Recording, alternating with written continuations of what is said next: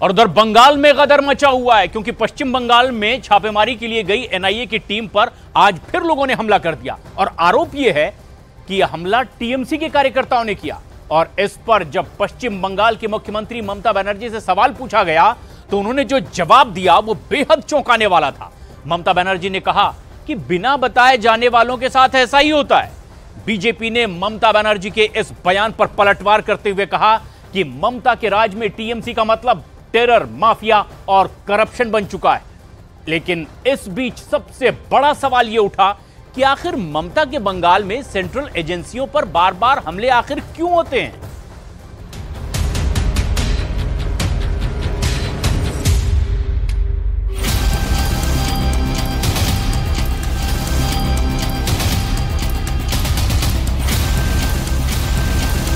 डंडे लिए महिलाएँ।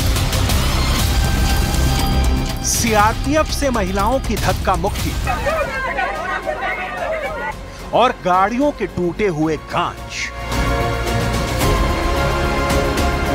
ये हाल हुआ है कलकत्ता हाईकोर्ट के आदेश के बाद बंगाल में आरोपियों को गिरफ़्तार करने गई एनआईए की टीम का।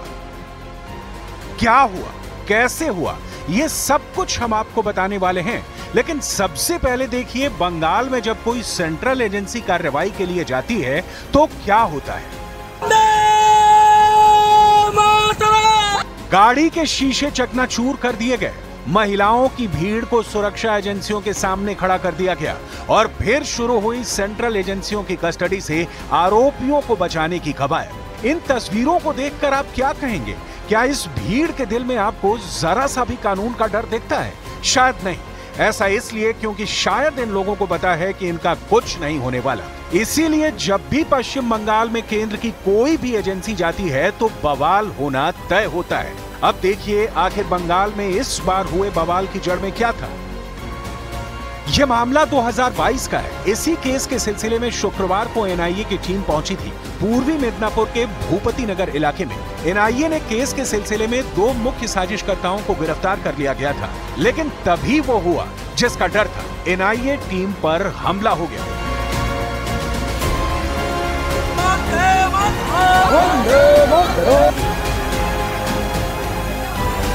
स्थानीय लोग घरों से बाहर निकल आए। और एनआईए की टीम का विरोध करने लगे। गिरफ़्तार आरोपियों को लेकर जाने से रोकने लगे। जानकारी के मुताबिक इस भीड़ में महिलाएँ आगे थीं। महिलाओं ने सीआरपीएफ की महिला कांस्टेबल के साथ धक्का मुक्की शुरू कर दी। बात इतने से भी नहीं बनी तो अचानक से पथराव शुरू हो गया। और देखिए एनआईए की टीम का हाल क्या हुआ। गाड़ी के शीशे चकनाचूर हो गए। इस हमले में एक अफसर को चोटें भी आई हैं। बात इतने तक नहीं है। एनआईए ने अपनी प्रेस रिलीज़ में बताया है कि 2022 के एक बम धमाकों के मामलों में आरोपी बलाई चरण माइती और मनोब्रतो जाना को गिरफ़्तार करने वो उस इलाके में पहुँचे थे। दोनों को जैसे ही गिरफ़्तार कर वहाँ से भूपति नगर थाने की तरफ़ ले जा रहे थे, तभी अचानक वहाँ पर भीड़ आ गई और विरोध प्रदर्शन शुरू कर दिया। एनआईए की गाड़ी के आगे लोगों ने विरोध करना शुरू कर दिया और गाड़ी पर पथराव भी किया। घटना में दो एनआईए के अधिकारी घायल भी हुए हैं।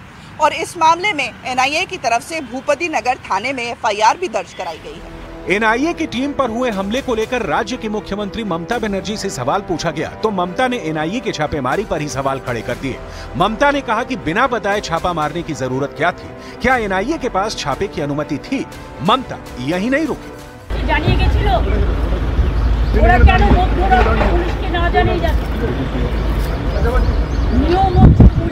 ওরা পুলিশকে জানিয়ে যাওয়া।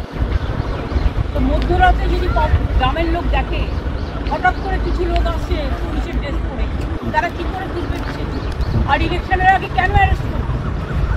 যদি সবাইকে অ্যারেস্ট করে বিজেপি কি মনে করে? সব বুথ এজেন্টকে অ্যারেস্ট করবে? সব ভোট ম্যানেজারদের অ্যারেস্ট করবে? পরে ভুটে জিতবে? শূন্য শূন্য গুলি ছুটছে।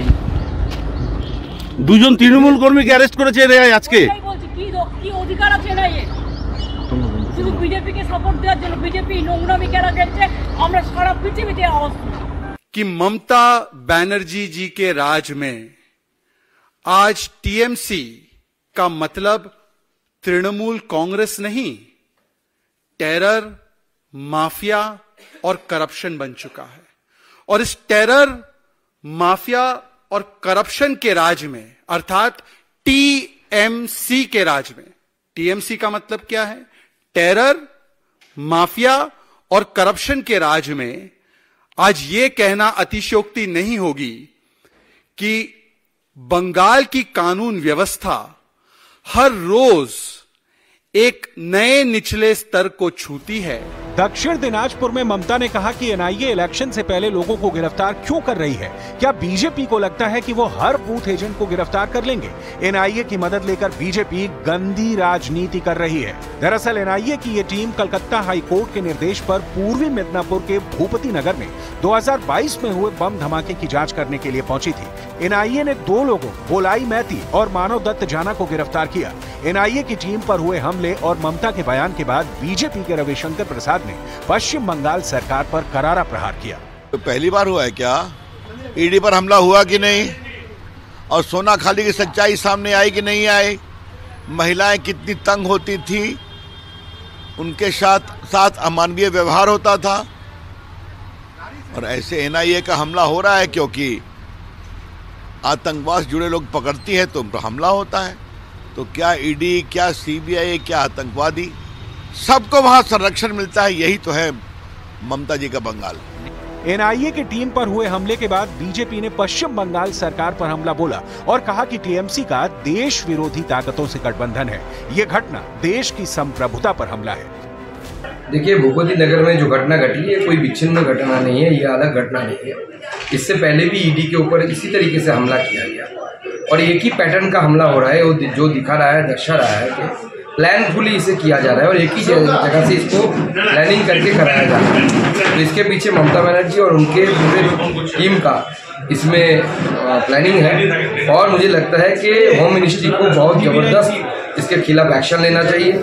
अब मामला बीजेपी वर्सेस टीएमसी के झगड़े से आगे बढ़ता हुआ नज़र आ रहा है। दोनों पार्टियाँ एक दूसरे पर ऐसे इल्ज़ाम लगा रही हैं जिसमें 2024 की चुनावी बिसात साफ़ साफ़ नज़र आ रही है। देखिए ये भूपति नगर का जो इंसिडेंट है ये अनफॉर्चुनेट इंसिडेंट है लेकिन इसके पीछे एक शतरंज का खेल है जिसका खिलाड़ी है भारतीय जनता पार्टी। उसका संगठन नहीं है, वो सीबीआई ईडी एनआईए इसको भेज रहे हैं। अब देखिए, ये तो सामने आ गया है कि एनआईए के ऑफिसर के पास भाजपा का जो लीडर्स है, वो गए थे और पूर्व मेदिनीपुर से लेकर कई जगह कर तृणमूल कांग्रेस का जो लीडरशिप है बूथ वर्कर्स है, उसका लिस्ट दे दिया गया। उनको उठाइए, उनका सामन कीजिए ये लोग बोल रहा है कोर्ट से ऑर्डर आया। अरे क्या कोर्ट से ऑर्डर आया? बंगाल के लोगों को मार रहे खून कर रहे महिला के ऊपर अत्याचार कर रहे तब मुख्यमंत्री का इतना जलन क्यों हो रहा है? इतना खराब क्यों लग रहा है? वो पक्षपातित्व तो क्यों कर रहे हैं? शेख शाहजहां के और ये जो आज भूपति नगर में जो हुआ, वहाँ पर वो बोल रहे एक टाइम वो बोले थे कि महिला लोग निकल के आइए। ईडी और सीबीआई को अगर देखते हैं तो घर से हाथा खुंती लाठी, मोटी जो भी मिलता है, वो लेकर आक्रमण करिए सेंट्रल एजेंसी को। आज जो हुआ है, उसका दाय ममता बनर्जी को लेना पड़ेगा। और संदेश खाली में भी जो हुआ था, उसका भी दाय ममता बनर्जी को लेना पड़ेगा। इससे पहले पश्चिम बंगाल के साउथ 24 परगना ज़िले में 5 जनवरी को ईडी और सीआरपीएफ की टीम टीएमसी नेता के घर रेड करने पहुँची थी। तब भी भीड़ ने जानलेवा हमला कर दिया। करीब 200 लोगों ने जाँच एजेंसी के दो वाहनों में तोड़फोड़ की। इसमें कुछ अफसरों के सिर में चोटें आई थी। ईडी के मुताबिक भीड़ ने अधिकारियों के मोबाइल फ़ोन, लैपटॉप, नकदी और बटुए छीन लिए। पूर्व टीएमसी नेता शाहजहां शेख को 29 फरवरी को बंगाल पुलिस ने गिरफ़्तार किया था। शेख की गिरफ्तारी ईडी पर हमले के केस में हुई थी।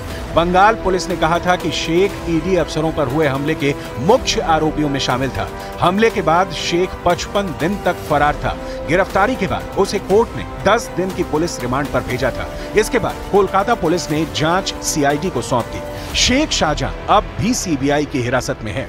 बंगाल की कानून व्यवस्था हर रोज एक नए निचले स्तर को छूती है और जिस प्रकार का भय का वातावरण आज पश्चिम बंगाल में, अर्थात रविंद्रनाथ टैगोर जी की भूमि में निर्माण हो चुका है तो वहाँ पर यदि सेंट्रल एजेंसीज के हमारे जाबाज ऑफिसर्स ही सुरक्षित नहीं है तो वहाँ पर माँ, मानुष और माटी सुरक्षित है क्या?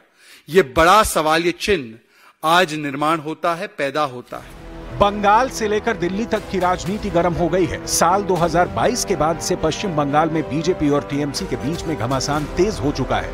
केंद्रीय जाँच एजेंसियों पर हो रहे हमले को लेकर बीजेपी अब आर पार के मोड में आ चुकी है। इसका असर अब की बार के चुनाव पर भी पड़ेगा। ये दोनों पार्टियाँ जानती हैं और इसी को लेकर दोनों के तेवर एक दूसरे के खिलाफ और खतरनाक हो चुके हैं।